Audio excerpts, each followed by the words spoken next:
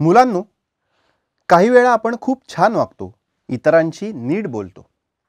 मात्र काही वेळा आपण नीट वागत नाही नीट बोलत नाही. शेजारच्या आजी आजारी होत्या. दीपिकाने मोठ्या आवाजात रेडिओ लावला होता. शाळेतून आल्यावर रोहन आजीशी एकही शब्द बोलला नाही. तसाच खोलीत निघून गेला. खोलीचे दारही त्याने बंद करून घेतले. आजी रोहनकडे पाहत होती. रस्त्यात पाय घसरून पडलेल्या रुचिताला कल्पनाने हात देऊन उठवलं. बाबांनी आजोबांची औषधे लगेच आणून दिली. दृष्टीहीन असलेल्या मित्राला माधवने गोष्ट वाचून दाखवली. बसच्या रांगेत राजू बराच वेळ उभा होता. बऱ्याच वेळानंतर आलेला दुसरा मुलगा रांगेत मध्ये घुसून राजूच्या पुढे जाऊन उभा राहिला. वरील प्रसंगात कोण चुकीचे वागले आणि कोण बरोबर वागले? कल्पनाने बाबांनी माधवने इतरांना मदत केली. त्यामुळे त्यांचे वागणे बरोबर आहे. दीपिका रोहन रांगेत घुसलेला मुलगा या सर्वांचे वागणे चुकीचे आहे. आपल्याला आपली चूक दुरुस्त करता येईल का? यासाठी आपण काय केले पाहिजे? मुलांनो आपल्याला आपली चूक दुरुस्त करता येते. कोणाला बरं नसलं तर आपण त्याची काळजी घेतो. कर्णबधिरत्व असलेल्या दृष्टीहीनत्व असणाऱ्या शारीरिक किंवा बौद्धिक मर्यादा असणाऱ्या व्यक्तींना विशेष गरजा असणाऱ्या व्यक्ती असे म्हणतात. अशा व्यक्तींबद्दल माहिती घ्यावी. त्यांचा आजार समजून घ्यावा. ते बिचारे आहेत असे न समजता त्यांना स्वतःला काम करू द्यावे. जरूर असेल तर त्यांना मदत करावी. या सगळ्याला मिळून संवेदनशीलता असे म्हणतात. अशा सर्व लोकांना मदत करणे ही प्रत्येकाची जबाबदारी आहे. आपल्या घरातील म्हातारी मंडळी चटकन बाहेर जाऊ शकत नाहीत. स्वतःची सगळी कामे करू शकत नाहीत. आपण त्यांची काही कामे करून त्यांना मदत केली पाहिजे. काही वेळा म्हाताऱ्या लोकांना आवाजाचा खूप त्रास होतो. ते जवळ असताना आपण टी व्हीचा रेडिओचा आपल्या बोलण्याचा आवाज कमी ठेवावा. दिवसातील थोडा वेळ तरी त्यांच्याशी गप्पा माराव्यात. घरातील किंवा नात्यातील कोणत्याही व्यक्तीला आजार झाला तर प्रथम घरीच काळजी घेऊन उपचार करावेत. मात्र त्याचा उपयोग झाला नाही तर वेळेवर डॉक्टरांकडे जाऊन उपचार करून घ्यावेत. तुम्ही रस्त्याने जाताना अंधत्व असणारे व्यक्ती पांढरी काठी घेऊन चालताना बघितले आहेत का?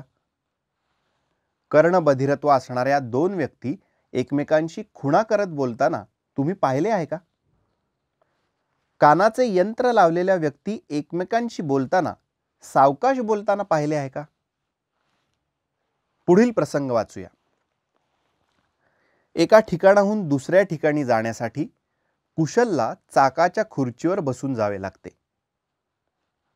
समोरची व्यक्ती काय बोलत आहे हे समजून घेण्यासाठी मनीषाला दुसऱ्या व्यक्तीची गरज लागते.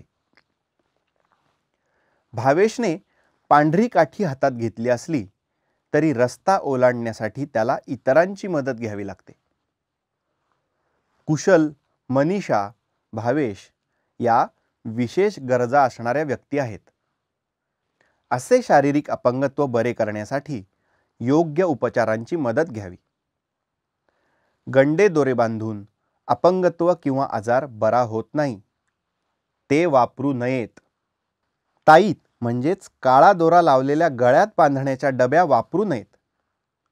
अंगारे धुपारे उदबत्ती किंवा धूप उजळून केलेली पूड लावणे त्याचा धूर अंगावर घेणे अशा गोष्टी करू नयेत.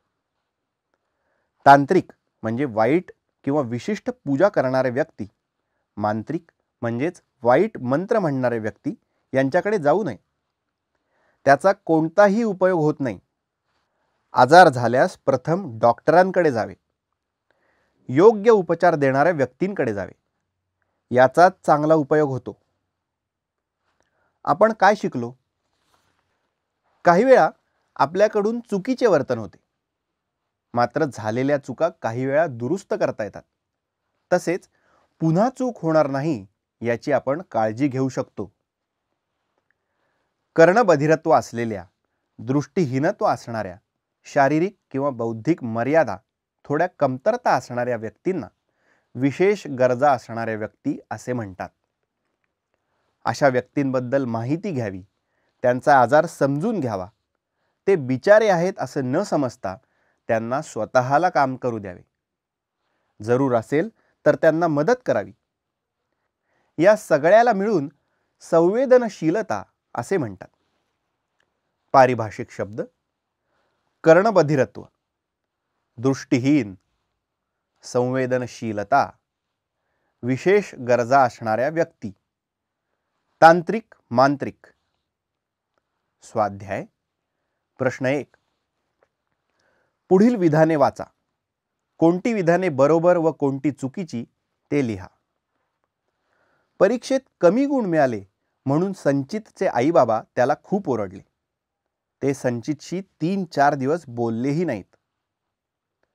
कविताने सुषमा भाभींच्या बागेतील गुलाबाचे फूल त्यांना न विचारता तोडून नेले. आजीच्या डोळ्याचे ऑपरेशन झाले होते. महिनाभर परागने तिला दररोज वर्तमानपत्र वाचून दाखवले. दुकानाच्या रांगेत उभ्या असलेल्या आजोबांना सर्वांनी दुकानात आधी जाण्याची परवानगी आनंदाने दिली. कर्णबधिरत्व असलेल्या सचिन काकांची नुसती कीव न करता त्यांना मंडळाने कामावर ठेवले.